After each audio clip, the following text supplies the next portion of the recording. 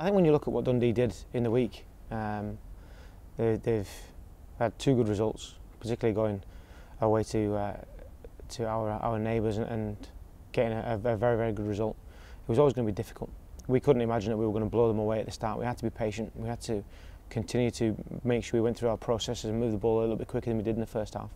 Uh, and they caused us a little structural problem in the in the first half with Roarie Deacon's position. But once we figured that out, Um, and once we started to move the ball properly with tempo, um, I, I was pleased with that. I was pleased with that aspect of it. Um, but once again, I, I keep on reiterating it. We need to get better. We are. We need to keep on improving. We need to keep on setting and, and, and extending and, and improving our standards.